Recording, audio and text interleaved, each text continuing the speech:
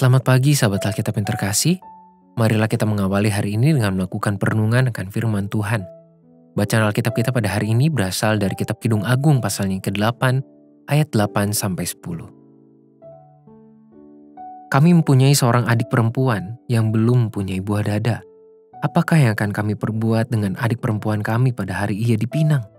Bila ia tembok akan kami dirikan atap perak di atasnya. Bila ia pintu akan kami palangi dia dengan palang kayu aras. Aku adalah suatu tembok dan buah dadaku bagaikan menara. Dalam matanya ketika itu, aku bagaikan orang yang telah mendapat kebahagiaan. Di dalam perikop ini kita dapat menyaksikan luapan apresiasi atas diri dengan segala kondisi tubuh, secara khusus pada diri mempelai perempuan. Apresiasi ini tidak hanya muncul pada diri si mempelai perempuan, yang memang sudah matang secara umur dan tubuh untuk melakukan sebuah pernikahan, tetapi juga dirayakan serta ditujukan pada diri seorang gadis belia. Cara gamblang, para penyair yang bersahutan dengan mempelai perempuan mengungkapkan betapa pentingnya diri sang gadis belia untuk diberikan perhatian dan dijaga sedemikian rupa. Hal itu tidak hanya menjadi modal bagi dirinya menghadapi kehidupan orang dewasa, tetapi juga menjadi bagian dirinya yang akan dia rayakan kelak. Sekilas, syair yang muncul dalam perikop ini memang membicarakan dan memberikan fokus pada kondisi tubuh. Padahal jika kita membacanya dalam sudut pandang yang lebih luas, maka kita dapat menemukan sebuah bentuk kepedulian antar saudara dalam hubungan kekerabatan yang begitu akrab dan tulus. Para kakak atau abang dari si gadis belia pada ayat 8 dan 9 mengungkapkan sebuah kekhawatiran sekaligus kepedulian terhadap adik mereka.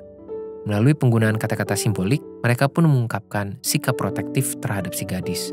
Intinya adalah kita mendapati sebuah sikap kepedulian dan saling melindungi dalam hubungan keluarga yang sangat besar pada perikop ini. Sahabat Alkitab, Kidung Agung memanglah kitab yang dipenuhi luapan cinta yang saling bersahutan di antara sepasang kekasih. Namun di tengah sahutan luapan cinta itu, kita pun mendapati teladan hidup berkeluarga yang tidak kalah besarnya. Pada hari ini kita pun belajar bahwa sebuah keluarga tidak hanya sebatas pada hubungan kakak beradik, melainkan juga suami istri dan orang tua anak perlu diisi dengan kepedulian dan sikap saling melindungi. Setiap umat Tuhan sangat perlu mengaplikasikan nilai pengajaran ini di dalam kehidupan keluarganya masing-masing demi menciptakan rasa aman dan relasi kekerabatan yang berlandaskan firman Tuhan. Terlebih lagi, kita perlu mengingat bahwa keluarga idealnya menjadi ruang paling aman bagi setiap individu di dalamnya untuk mengalami pertumbuhan dan perkembangan. Marilah kita berdoa. Tuhan firman-Mu hari ini telah mengingatkan kami tentang pentingnya membangun keamanan di dalam keluarga kami masing-masing. Dan idealnya, keluarga adalah ruang paling aman bagi setiap individu untuk mengalami pertumbuhan dan perkembangan.